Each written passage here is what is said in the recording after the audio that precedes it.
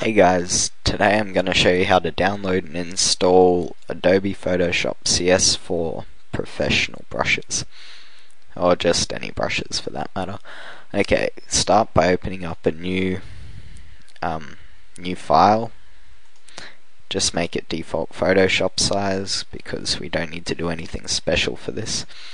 And go to www.dafont.com and it'll come up with this. I like this site, it's got quite a few brushes and they're pretty good.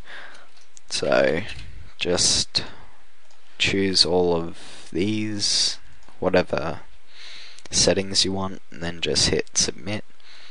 And for this one, I think I'll use Lemon Day. That looks pretty cool. So just download that, then go to wherever it's downloaded, and there we go. Okay, now just extract that using whichever extracting program you use.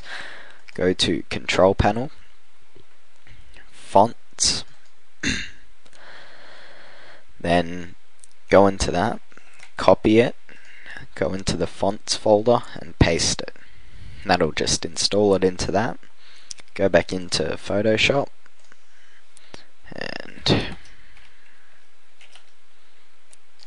that's not the one I downloaded. Uh, where is it? Here we go, Lemon Day. And there it is. So just mess around with that, have fun, and good luck.